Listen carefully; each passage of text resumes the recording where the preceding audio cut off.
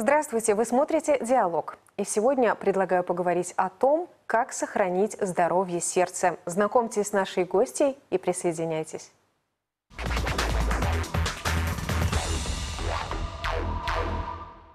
Ольга Евгеньевна Лях, главный врач Гомельского областного клинического кардиологического центра. Трудовую деятельность начала в 1989 году после окончания Минского ордена Трудового Красного Знамени Государственного медицинского института. Первая должность – врач-интерн-терапевт Гомельской областной клинической больницы. В областной клинический кардиологический диспансер пришла в 1996 году на должность врача функциональной диагностики. С 2004 года работала заведующей организационной организационно-методическим кабинетом. В 2012 году назначена первым заместителем начальника управления здравоохранения Гомельского облсполкома, а еще через год главным врачом Гомельского областного клинического кардиологического центра. На вопросы, которые касаются деятельности областного кардиологического центра, прямо сейчас можно получить ответ, позвонив по номеру телефона в Гомеле 0232 340 043. Сообщение можно отправить в Viber номер плюс 375 29 340 043 3.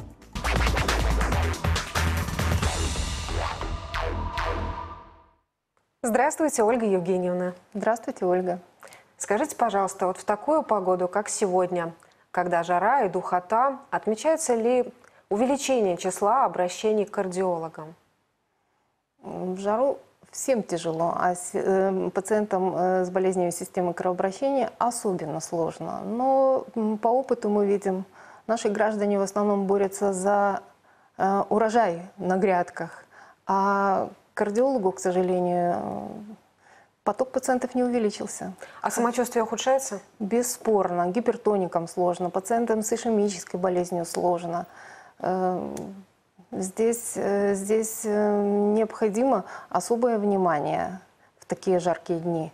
Как бы вы порекомендовали их проводить, чтобы не было потом мучительно больно? Во-первых, необходимо соблюдать э, трудовой режим прежде всего. Э, не нужно выходить на э, улицу в часы пик, когда э, солнце высоко, температура окружающей среды очень высокая. Поберегите себя, отложите свои дела либо на вечерние часы, либо на утренние. Необходимо потреблять достаточные и в рационе, и воду необходимо пить. Ну и, конечно же, принимать медикаменты, которые были вам рекомендованы э, врачом. А ударный труд вот на приусадебном участке, он может спровоцировать какие-то проблемы со здоровьем? Когда-то мы даже готовили э, информационный материал для э, населения, он так и назывался «Инсульт на грядке». Во всем должна быть мера.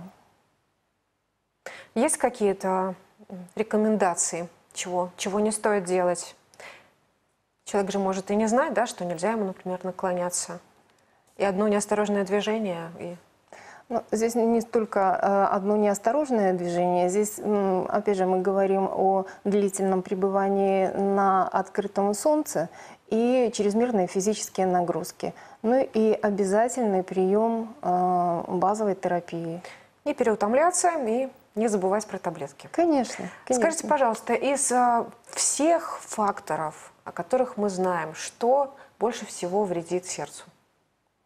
Есть факторы риска развития неблагоприятных осложнений.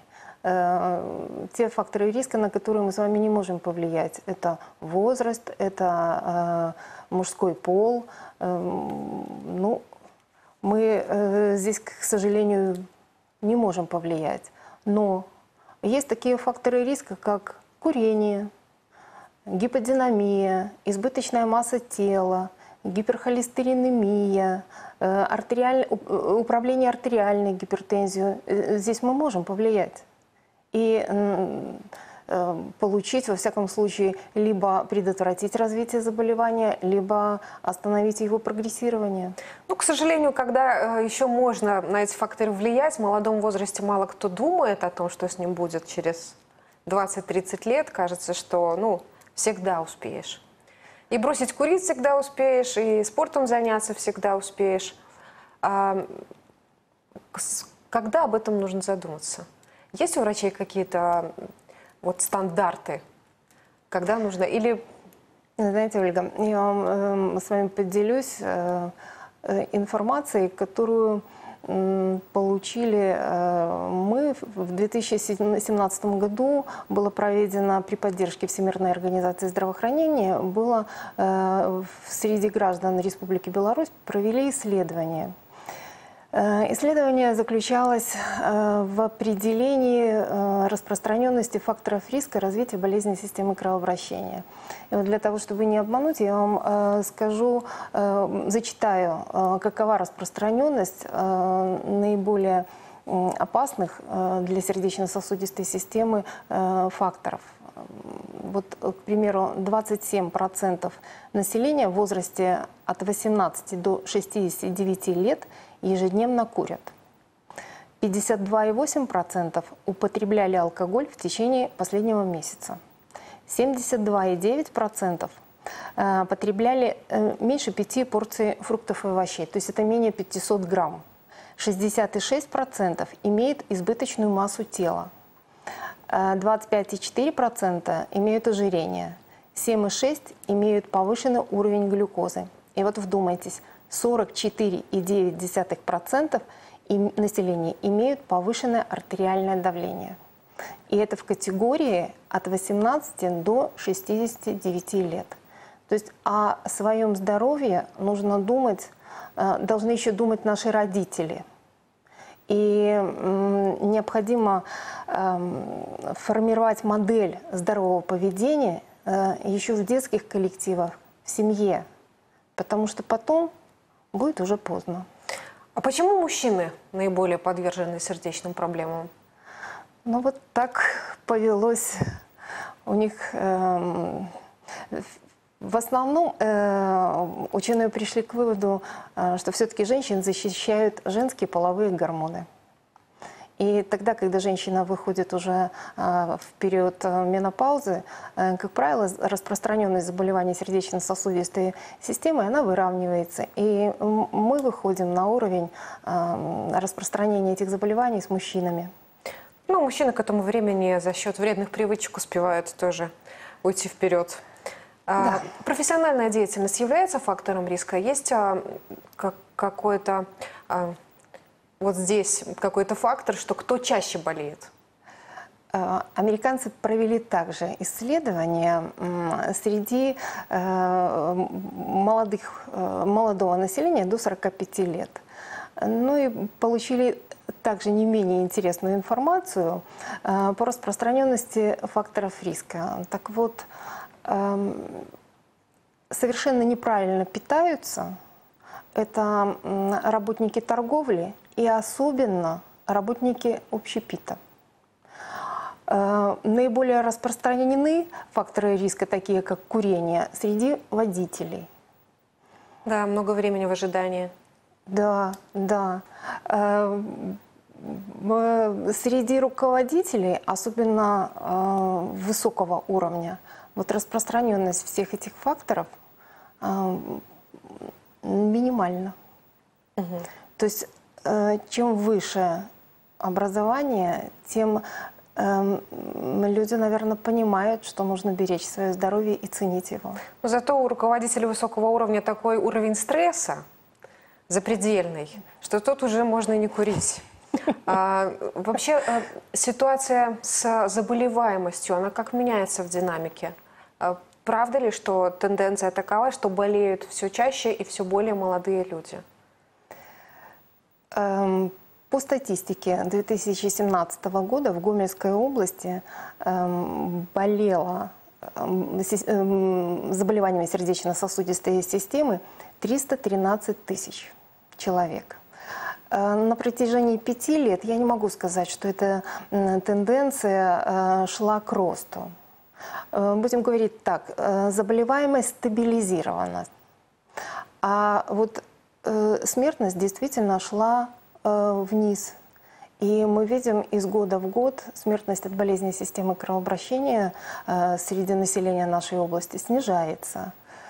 Ну а в отношении омоложения, вот, к примеру, э, в 2017 году в наш центр поступила э, молодая женщина, 22 года, у которой мы диагностировали инфаркт миокарда. В этом году это был мужчина, 33 года, э, также был с инфарктом миокарда. То есть, да, есть и очень молодые инфаркты. А в чем здесь причина? Это какая-то врожденная, органическая предпосылка для этого? Или особенности поведения человека? Это болезнь. Конечно, есть и врожденная предрасположенность. Мы э, вот э, когда говорили о факторах риска, э, на которые мы не можем повлиять, э, в этом списке есть и наследственная предрасположенность к болезням системы кровообращения и к сахарному диабету. Поэтому Скажите, пожалуйста, какие болезни кровообращения встречаются чаще всего? Чаще всего встречается ишемическая болезнь сердца, артериальная гипертензия и цереброваскулярные болезни. А какая из этих болезней наиболее опасна? Есть ли а, какая-то группа, где наиболее высока см- смертность?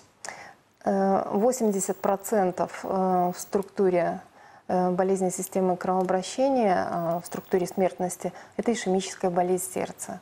Но я не умаляю э, роль и артериальной гипертензии, э, которая усугубляет течение практически всех заболеваний. Э, Потому что при развитии артериальной гипертензии страдают и сосуды почек, и сердца, и головного мозга. Ну и в практически все сосуды подвержены э, негативному влиянию повышенного давления. Но если мы с вами будем управлять цифрами, не будем допускать превышения э, э, цифр артериального давления выше, чем 140 на 90, э, этот процесс можно, во всяком случае, замедлить, и этим процессом можно управлять. Скажите, пожалуйста, как не пропустить вот первые самые звоночки, когда нужно начать бить тревогу и начать проверяться? Э, Начать проверяться. Хорошее слово, э, распространенное Да. слово среди нашего населения. А я хочу э, адресовать все-таки к не менее распространенному слову – это диспансеризация. Э, Здоровый человек э, по приказу Министерства здравоохранения э, должен пройти диспансеризацию раз в два года. Тот э, человек, у которого есть заболевания хронические, то раз в год. Но есть и э, повод прийти в поликлинику тогда, когда уже начинает что-то вас беспокоить. Например, что беспокоит, когда у человека начинает а, развиваться заболевание системы кровообращения? В- Вот эм, болезни системы кровообращения, они очень коварны. Да, Если- очень долго ничего не беспокоит, да? Ничего не беспокоит. Но мы будем, э, опять же, а- отсылаю вас к диспансеризации. Если человек приходит на прием, э, и доктор видит повышенное артериальное давление, то этого человека уже не выпустят из поля зрения. И по протоколам диагностики и лечения будет назначен весь спектр необходимых диагностических исследований. Какие анализы нужно сдавать? Э, В зависимости от возраста, от заболевания, доктор вам все напишет. А за какими показателями крови нужно наблюдать? Какие показатели крови? Эм, Мы очень призываем э, наших пациентов знать уровни холестерина. Это общий холестерин не должен превышать 5, и э, триглицериды не выше 1,7. Спасибо. А сейчас предлагаю посмотреть сюжет. Наши корреспонденты пообщались а, с пациентами и врачами областного кардиологического центра.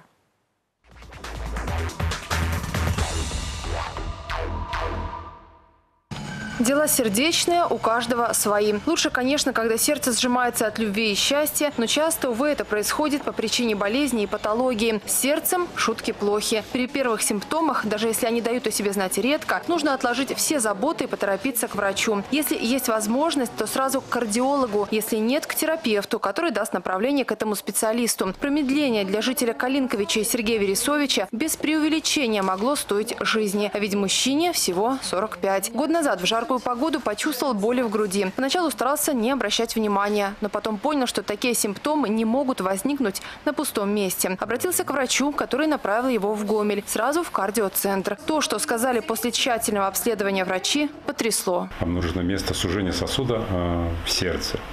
То есть в данном случае э, вариант только один. Надо проводить вмешательство. Это либо стентирование, либо шунтирование. В данном случае э, доктор предложил стентирование, поскольку это малоинвазивный метод, не требующий, э, скажем так, особо хирургического вмешательства, то есть не разрезается пациент, вводится стенд, ну, эта операция была проведена мне в прошлом году, в июне месяце. После этого почувствовал себя гораздо лучше.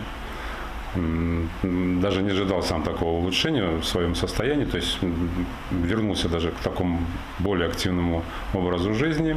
Теперь у Сергея почти привычный образ жизни. Хотя пришлось пересмотреть рацион, отказаться от вредных даже для здорового человека продуктов, уменьшить физические нагрузки, постоянно принимать лекарства. Всего в кардиоцентре делают около двух с половиной тысяч операций в год. Многие из них высокотехнологичные. Такие, которые раньше, например, делали только в столице. Чаще стали делать операции, необходимые после инфаркта миокарда, более молодым людям. В настоящее время есть такая тенденция к омоложению инфаркта миокарда. И, к сожалению, довольно много молодых пациентов проходит у нас с инфарктом миокарда.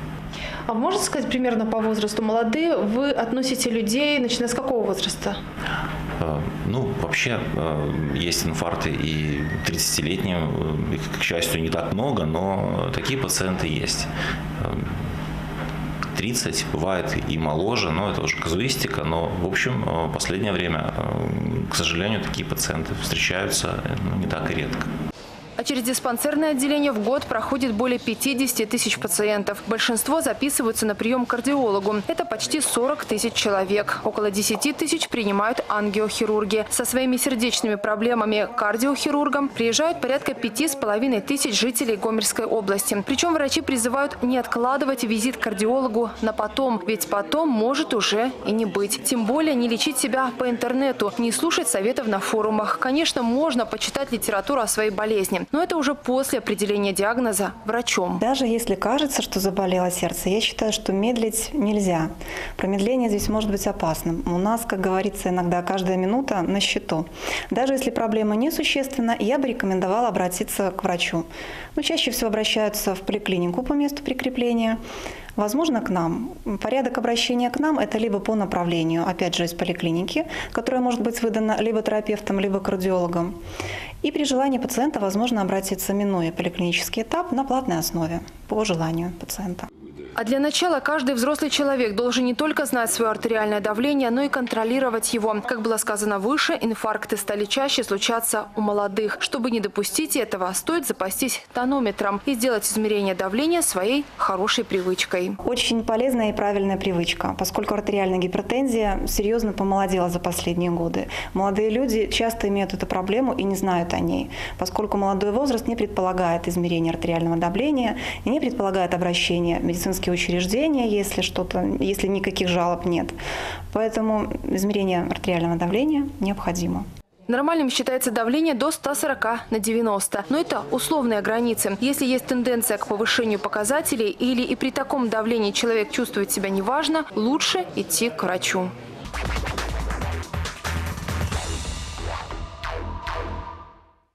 Вы смотрите «Диалог». На ваши вопросы готова ответить главный врач Гомельского областного клинического кардиологического центра Ольга Лях. Ольга Евгеньевна, ну, обычно говоря о проблемах с давлением, мы имеем в виду высокое давление.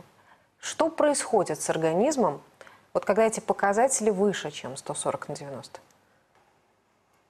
Ну, мы с вами уже говорили о том, что артериальная гипертензия усугубляет течение э, всех э, заболеваний, в основном всех. Но и э, негативное влияние оказывает на э, сосуды, которые э, в нашем организме есть. И критическими точками являются почки, сердце, головной мозг, глаза. То есть практически все органы. Это при каких цифрах уже, можно говорить? Те, которые выше 140? Выше Так? 140 на 90. А в каком случае нужно начинать лечение? При этих показателях? Совершенно верно. Они- Совершенно верно. А низкое давление, оно не считается опасным для здоровья? Э, Здесь нужно разделить этих пациентов на две категории. Если э, привычный, э, при- привычно низкое давление, то есть это пациент так и называется гипотоник, то и он себя хорошо чувствует, не нужно лечить такого пациента.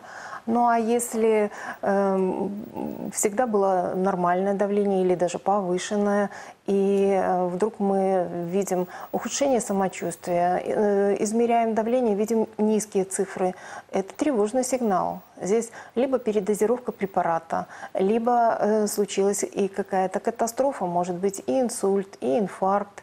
То есть здесь э, это является поводом обратиться за медицинской помощью.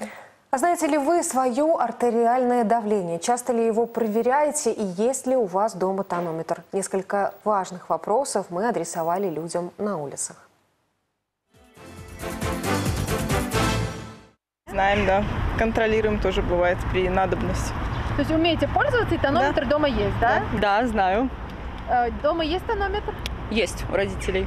То есть вы периодически пользуетесь, умеете, да, Ну, контролируете? Бывает иногда, да. Приходится. Ну, стараемся менее часто этим пользоваться. Периодически, да, считаю, измеряю. Тонометр дома есть, Ну, есть, пользуетесь. да. А вы измеряете его? Естественно, ну не каждый день, конечно. Но дома есть тонометр. Естественно. Знаю, А вы умеете пользоваться тонометром? умею. Измеряете давление И- сами? измеряю сама. Вы знаете, какое у вас давление? Да, знаю. А вы дома измеряете или где? Дома. Дома измеряю, потому что у меня папа страдает как бы с давлением, у него сердце ну, побаливает, поэтому у нас есть аппарат сердечный, поэтому мы проверяем давление. Знаете ли вы, какое у вас давление? Ну, на самом деле не задумывалась про это никогда. То есть тонометра дома нет, давление не измеряете, все хорошо со Но здоровьем? пока у меня все хорошо, тонометры мамы есть, естественно, да. А маме измеряете?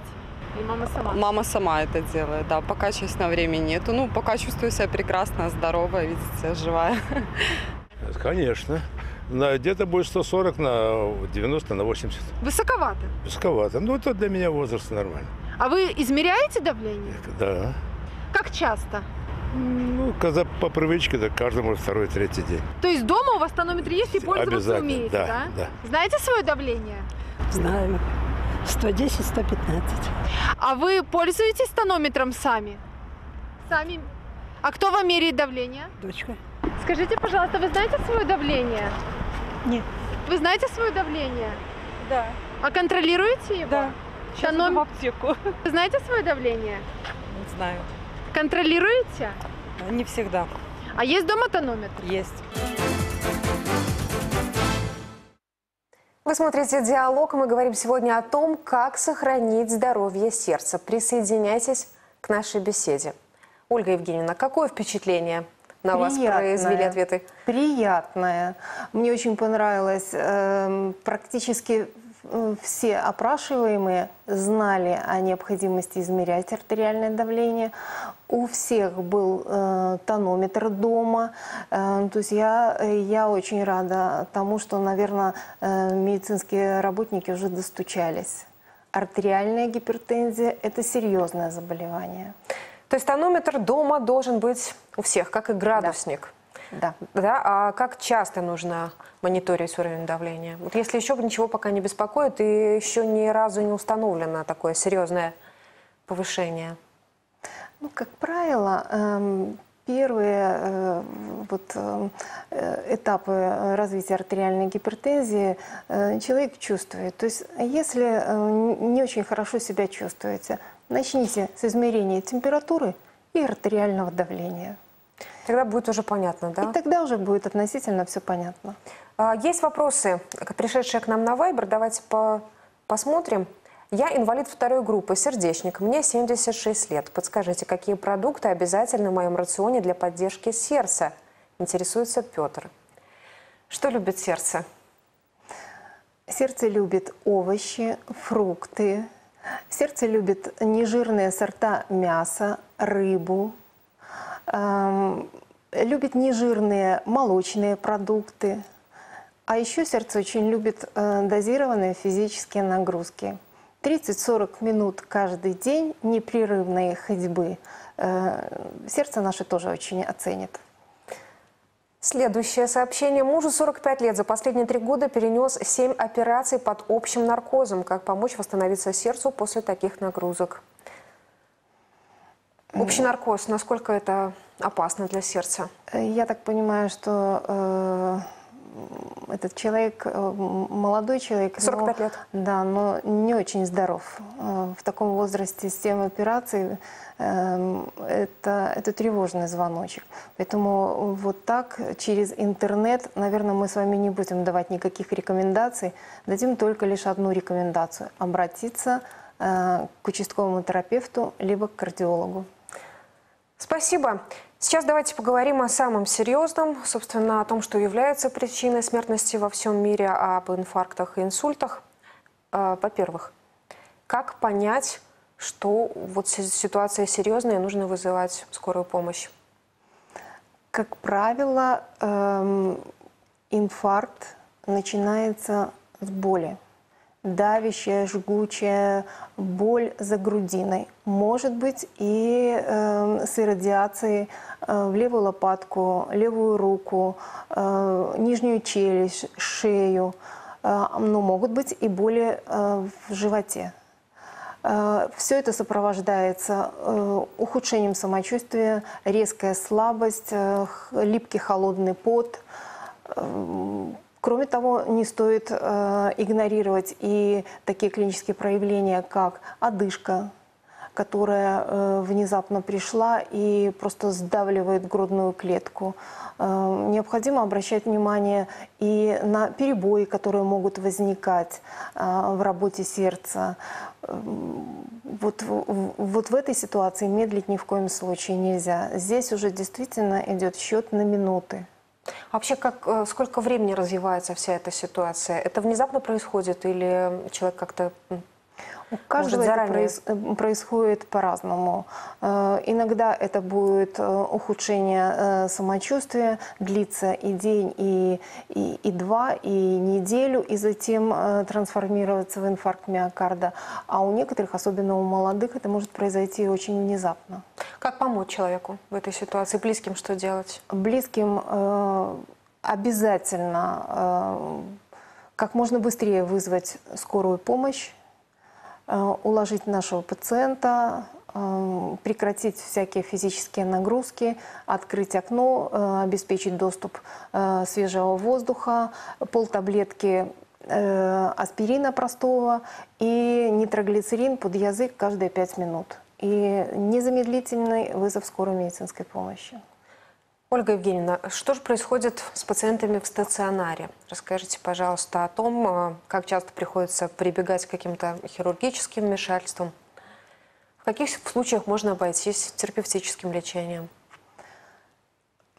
Это внешне только кажется, что э, все болезни одинаковые. Э, у каждого человека свои проявления и своя э, клиника. Э, для одного подходит только медикаментозное лечение, э, другому нужна э, обязательно хирургия, вплоть до открытого сердца. Кому-то подходит, как мы уже слышали, мини-инвазивные вмешательства. Все очень индивидуально.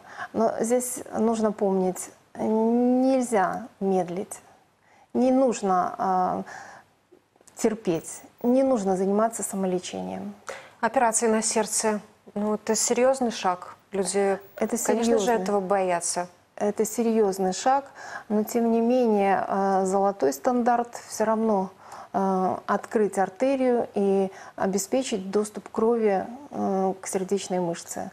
Здесь все методы хороши, но вот сейчас мы работаем в проекте Все пациенты с острым инфарктом миокарда э, с радиусом доставки в 90 минут сразу едут в кардиоцентр, доставляются бригадой скорой помощи.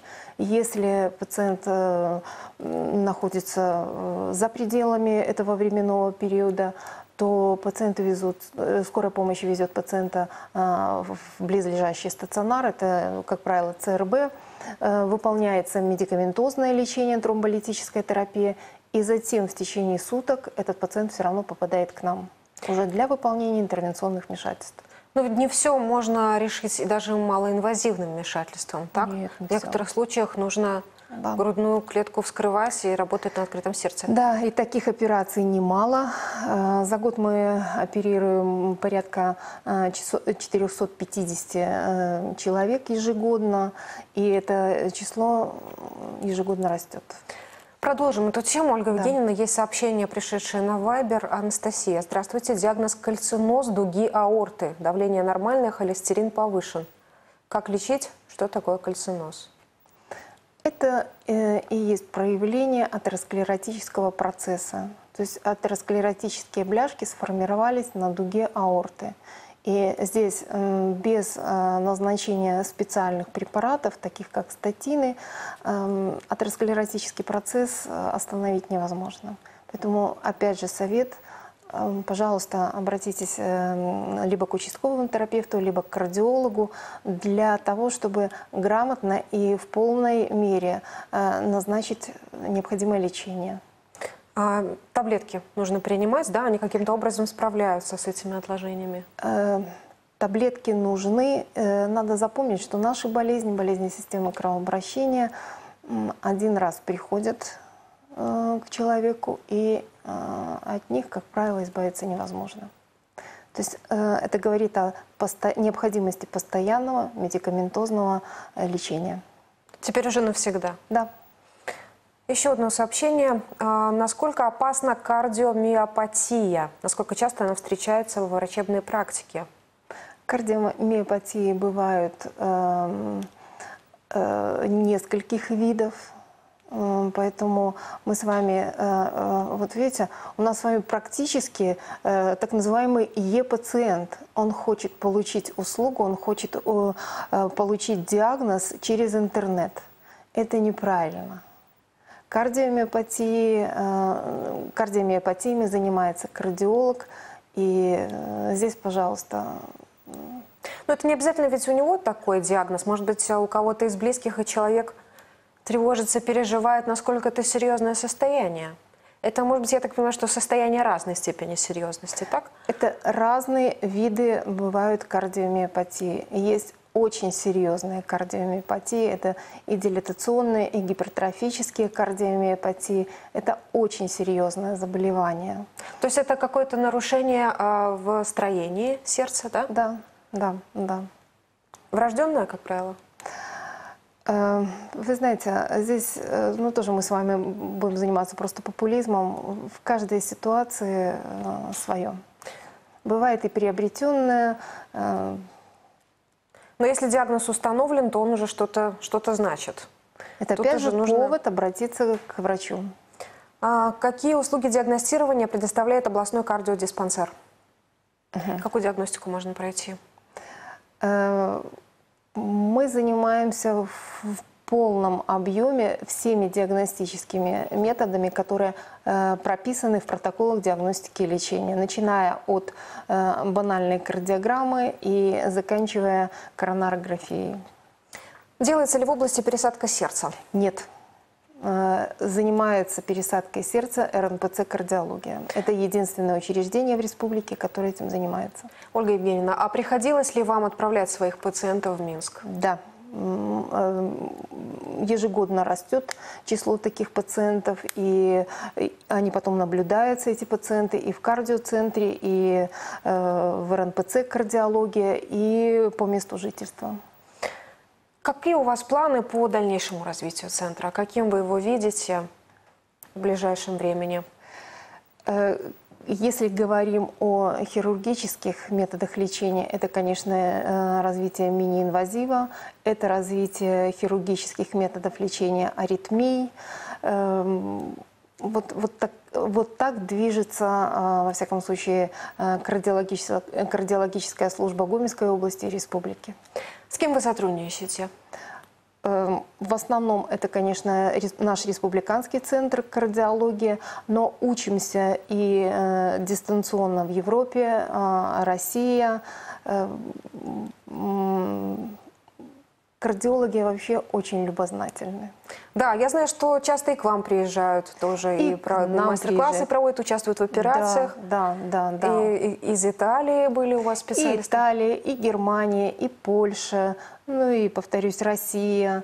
Э, Не только э, конференции, но и действительно проводят мастер-классы, мы их выводим на общий экран, и э, врачи видят э, возможности современной медицины. Да, возможности на самом деле колоссальные. Конечно, очень бы хотелось ситуацию до оперативного вмешательства не доводить, чтобы каким-то образом э, вот этот вот первоначальный этап, вот на нем все решать, чтобы можно было э, не запускать так свое состояние, чтобы его уже нужно было потом э, так решать. Скажите, пожалуйста, вот подытоживая все, что сегодня мы с вами обсуждали, есть правила, как не стать пациентом кардиохирурга? Давайте вернемся в начало нашей передачи и вспомним это пресловутое слово «диспансеризация». Это мероприятие э, предназначено лишь для того, чтобы, э, во-первых, на уровне факторов риска еще увидеть проблему, либо на начальных этапах заболевания увидеть проблему и своевременно э, назначить терапию, вести этого пациента. М, Ну, это первое, то есть раннее выявление, еще на уровне факторов риска. Второе – это постоянное, регулярное и э, качественное лечение медикаментозное. А, не забывая про немедикаментозные методы лечения. Мы с вами уже говорили, это и диетотерапия, это и э, адекватные физические нагрузки, это, конечно, и попытаться избежать э, психоэмоционального стресса. То есть все в комплексе. Э, Одним словом, э, тогда, когда человек э, будет заботиться о себе, то и кардиохирург ему не понадобится. Спасибо большое. Спасибо вам.